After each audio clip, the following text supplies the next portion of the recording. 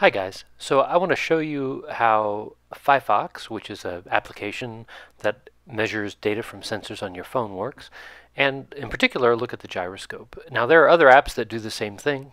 I have no particular allegiance to Phyphox, although it, I think it is pretty, pretty easy to use. So I've got the gyroscope here, it's got the X, the Y, and the Z components. I'm going to hit record, and you can see it's busy recording. Now I'm going to do a flip this way, flip back, flip this way, flip back, and flip around this way, and flip back. And you'll notice we got a z, an x, and then a y change in angular velocity. So the gyroscope is measuring the rate of change of angular position, in other words, angular velocity, in those three different directions. So I'll hit pause. And the whole goal of the project this week is to learn about the sensor that actually does that, the physics of how it works, and what the design criteria are to enable folks to make a sensor like that that's actually um, that that works.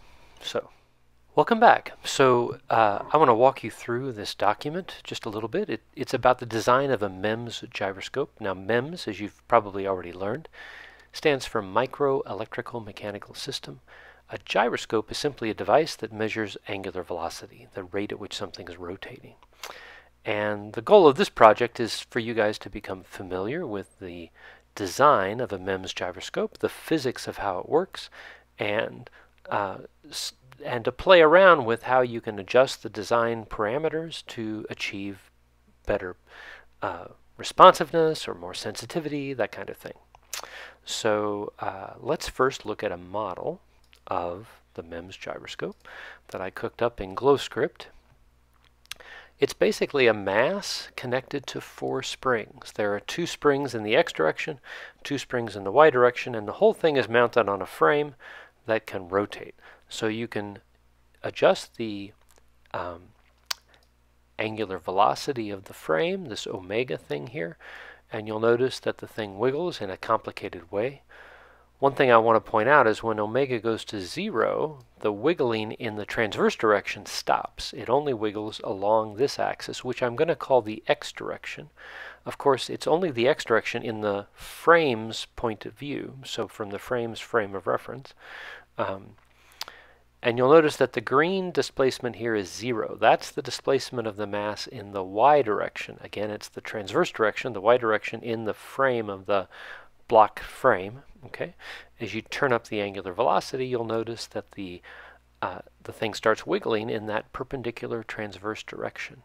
And it's actually by measuring the amplitude of that displacement that the MEMS gyroscope is able to determine the angular velocity.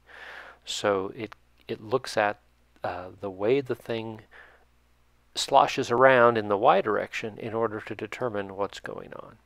So um, there are other things you can adjust. I'll point out that you can pause the simulation. That just stops everything by clicking the pause simulation button.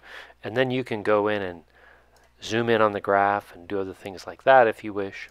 Um, you can also let the simulation go but view in the rotating frame. Now what that, that keeps the simulation going but it simply puts you in a frame of reference where you're rotating with the frame.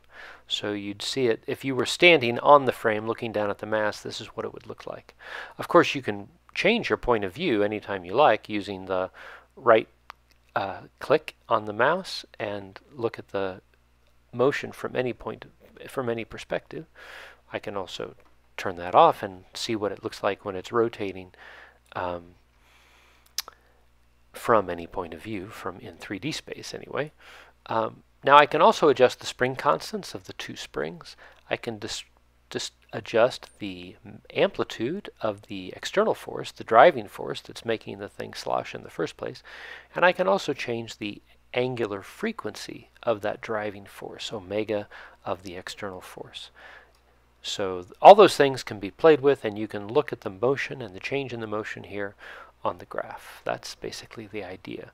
I should also point out that this is a Python program and you can go in and look at the code for the Python program if you're interested and see exactly how it works. The equations of motion are here, the uh, equations or the functions that control the sliders and the text boxes are here and so on. And then there, that's the whole program that runs the motion. It's actually quite simple. So uh, it's all there for you to inspect if you're interested. And uh, that's really all I have for now.